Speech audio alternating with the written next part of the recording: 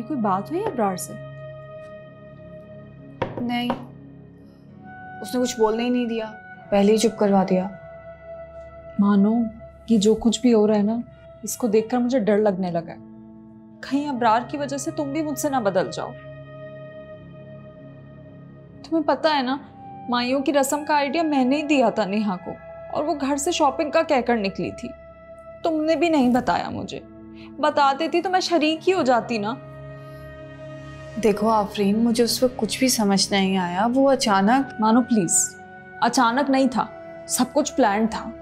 इसीलिए तो मिशा को भी उसके घर से पिक करके गई थी अटेंशन सीकर है वो, जिसके लिए वो किसी भी हद तक जाने को तैयार है। अबरार मिशा इकरार पूरी तरह से सब उसकी बातों के असर में तुम बेफिक्र रहो। नेहा की बातों का मुझ पर कोई असर नहीं होगा। हम्म?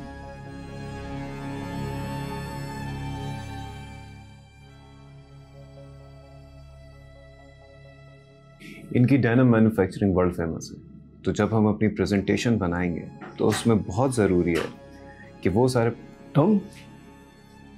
अलैक्म भाईजान। वालेकुम सलाम। थोड़े दिन और रेस्ट कर लेते। इतनी जल्दी आने की क्या ज़रूरत थी ऑफ़िस? कर लूँगा ऑफ़ भाईजान जब ज़रूरत पड़ेगी। आपको पता है बकार भाई आज से मैं अबरार को असिस्ट कर रही हूँ। ओह अच्छा अच्छा। आज से तुम अबरार को असिस्ट कर रही हो? एक काम करो ज़रा मेरे केबिन में जाओ वहाँ शरियान नकवी की फ़ाइल पड़ी होगी वो ले आओ जल्दी से। जी ठीक है।